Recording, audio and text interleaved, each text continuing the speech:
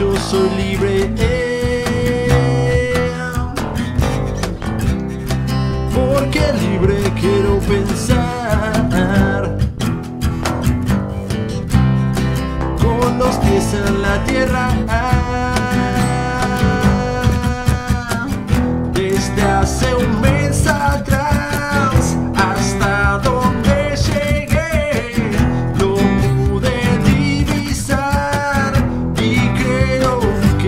bien.